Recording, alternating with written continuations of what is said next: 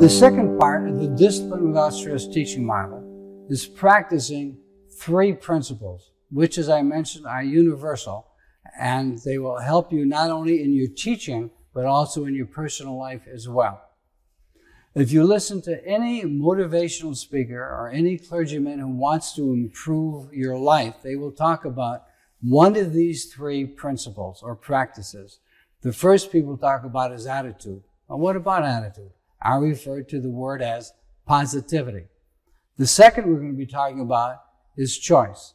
And the third we're going to be talking about is how do you influence people to change themselves? And the key behind that is reflection. So let's start with positivity.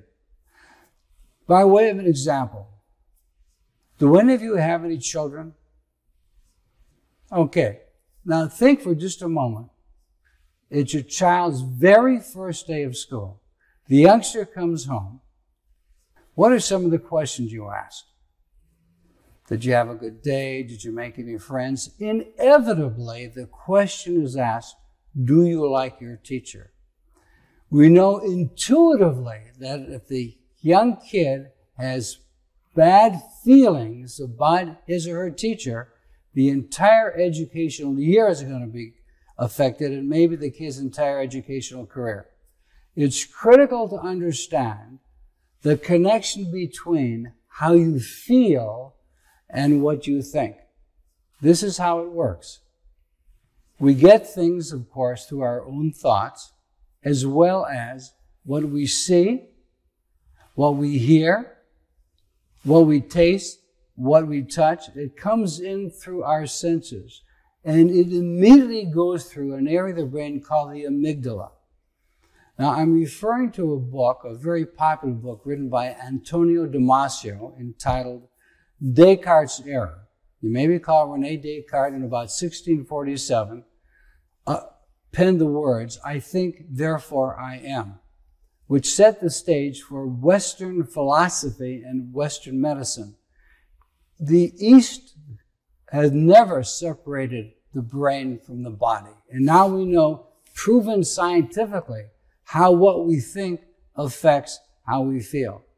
You absolutely cannot separate the two. Hence Descartes' error. Descartes tried to separate the two. Physically, you cannot do that. Because what happens is, as I mentioned, and I'm emphasizing this point, that with every bit of cognition, there comes a feeling. Right now, without even realizing it, you're self-evaluating. Your thought is, I like this guy. I wish he'd do that or that. My point is, it's critical to understand if you want to be a successful teacher, you've got to think of kids' feeling. Now, think of anything that you bought. I mean, aside from something that you really needed to live on. Did you need it? Or did you want it? Chances are you wanted it. That's an emotion. And then what we do is we justify it rationally. With every bit of cognition comes an emotion. Again, by way of example, somebody compliments you. They just said words. Does it prompt a good emotion? Yes. Somebody criticizes you. They just said words. Does it prompt an emotion? Of course it does. So by way of example, your principal says to you in the morning break, stop by my office. I need to talk with you. Oh, very interestingly, I will ask, how many of you immediately thought it was going to be negative? The hands go up. Why is it? Why do we automatically jump to something negative? That's an assumption. The principal has a letter of praise, but in the meantime, for a number of hours, you were thinking negative thoughts because you assumed. Again, assumption is the, the cause of so many negative feelings. If you don't know, don't assume.